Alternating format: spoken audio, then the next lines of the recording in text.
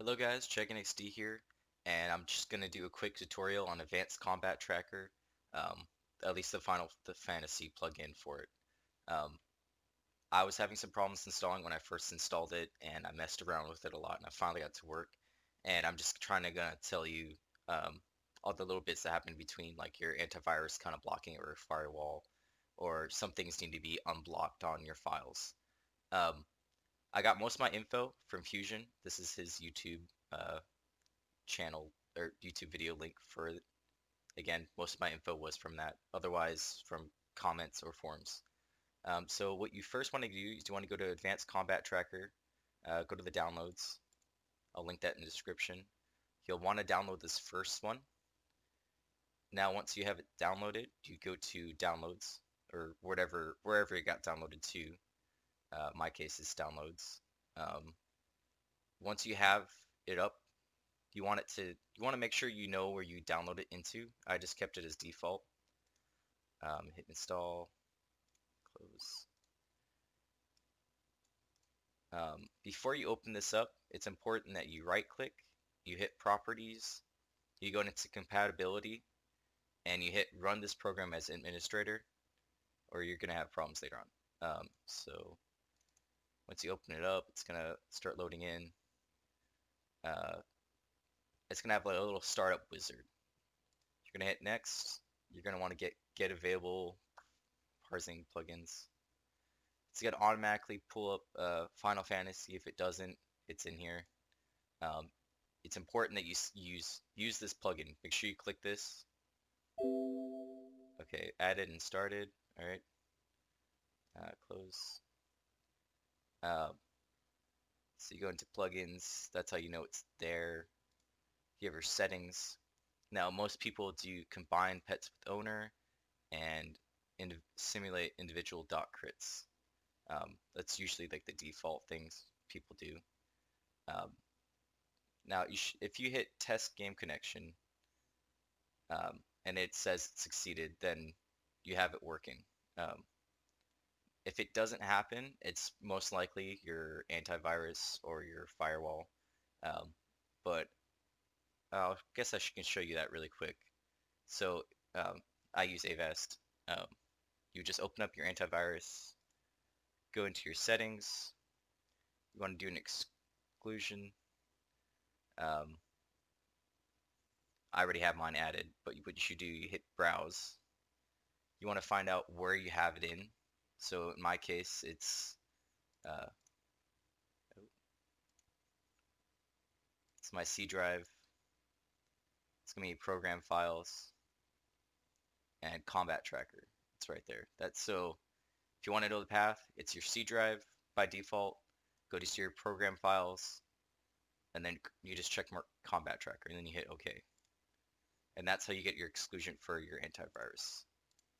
Now, um, you want to go to your control panel for your Windows firewall. And here you click uh, Windows Firewall. Um, it's easier for me, at least, to view by small icons. If you have it large icons or, or category, kind of gets more confusing sometimes. Uh, but I kind of like small icons. So you go Windows Firewall, uh, allow an app or feature through Firewall. You want to hit Change Settings, allow another app, you want to do browse. And honestly, I had the shortcut downloaded to my computer, and honestly, that worked me. But if not, I'm assuming you go to uh, your C drive, obviously.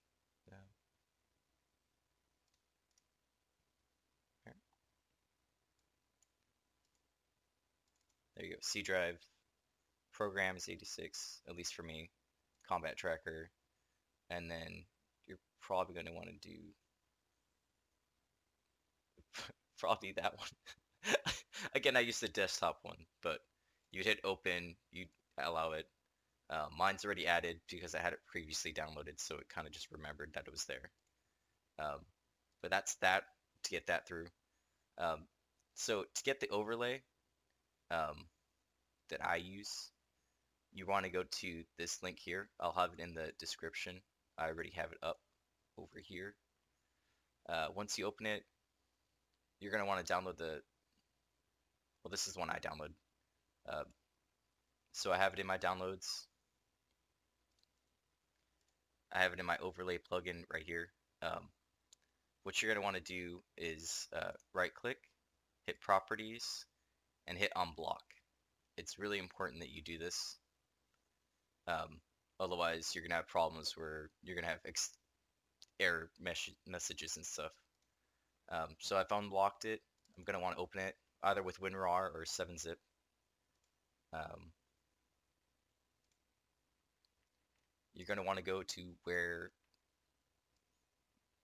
the program is located. So again, C drive, program 86 times 86, um, advanced combat tracker. Now, it's it doesn't really matter where you put the overlay, but I want to put it with combat tracker. That way, um, I know where it is at. Um, I'm just going to type in, it doesn't matter what it's named, but I'm going to name it overlay. Um, and I'm going to want to unzip all these files into here. Now just remember that you do have to unblock it or you're going to have problems. Okay, so now that's in there. Now I'm going to open up Combat Tracker.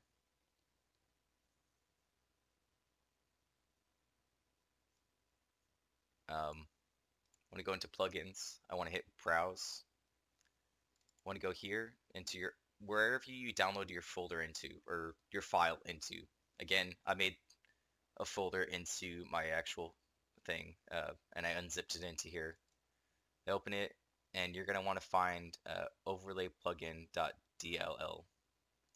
You want to hit open. You want to add add enable plugin. Um, now it should be working. Initialized.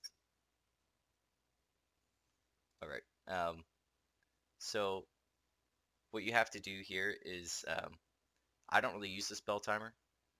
So I just remove that. Um, to actually add in the actual overlay into it, you're going to want to use this link here. I'll have that in the link or in the description. You want to post that here. Hit reload your overlay. And you'll have this fancy thing pop up. Uh, this is basically where you're going to see all your stuff. Um, some other settings that uh, a lot of people do is they hide the overlays. Now, um, I kind of like the default overlay just because it'll have this. Um, otherwise, if you hit hide, you won't see that there. I kind of like actually seeing the numbers. I don't know why. That's just a preference. Um, so I believe that should have everything working. Um, you have these arrows here, just kind of like minimize it. You have uh, DPS. Tank tells you how much um, damage they're eating. Uh, healing, you get to see everyone how much they're healing. So you get to see how much the healer's healing. If your DPS are using your second wind, or you know they pop some potions or whatever, um, you can hit settings. You can kind of mess with this stuff. Um, you can mess with the colors. Um,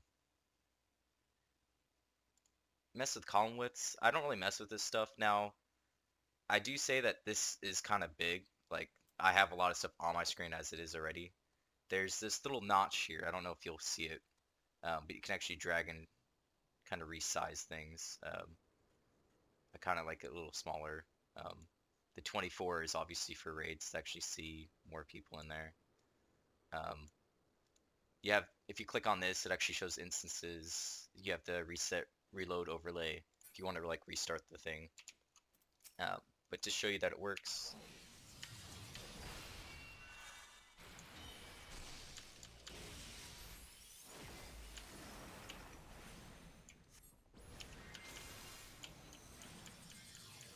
and let's get rid of that message.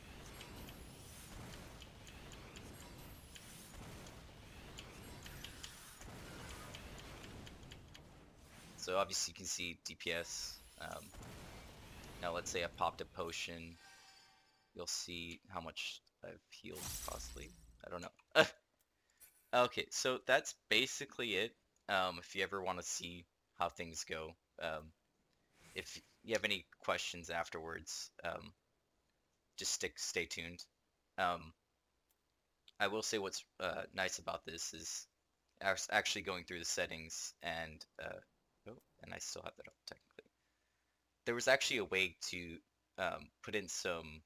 I don't know if it's in here or if it's in your actual combat tracker, but I was kind of messing around with it, and it's actually quite nice because let's say you had another device on. I think people play on PS4s and stuff. I think there's a way to add an IP address and kind of track DPS through that. Obviously, it wouldn't be on your main screen because as a PS4, you're probably using a TV or something. Um, but it would show up on your computer, and that would be kind of cool to watch that, see where you need to mess around with, where your combos might be better DPS wise. Um, now, what I wanted to tell you was, uh, for whatever reason, that um, you're still getting an error, and you've messed with your antivirus, you've unblocked the files, you've uh, made an exception in your firewall, and you're still getting uh, a problem. Um, in here, uh, this is Fusion's video. Someone commented um, that they were having this error. Okay, now I had this error before I did the exceptions, so if you're still getting this error for whatever reason, this person added uh, lat line directly after runtime command and in the ACT exe file. Um, so if you wanted to add that, uh, you would have to go to your C drive, your program files. Again, only add this if you're still having problems. Um, and so this is the config file. You can see by the type. Um, now by default, you're actually not able to edit this. So like if I went in here and hit edit and I tried saving it, so I believe they said after runtime command. Uh, so you'd be pasting it basically here. Um, it won't let me save it. I can try saving it and it says you want to replace it, yes, access is denied. So to get around that, you would have to right click properties, security, um, you're going to want to edit your permissions because right now you have read and execute and read. Um, you're going to want to be able to modify. So you honestly might as well just do full control. now you'll be able to edit, paste this in there, and hit save. If you're still having that problem, it should have worked. Did it not save it? Uh, okay.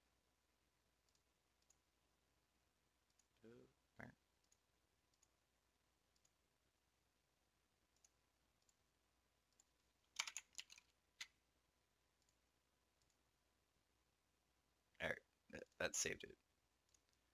Alright, so thank you guys for joining this video. That's basically all I have to show you. If you have any questions, post it in the comments. Thank you very much.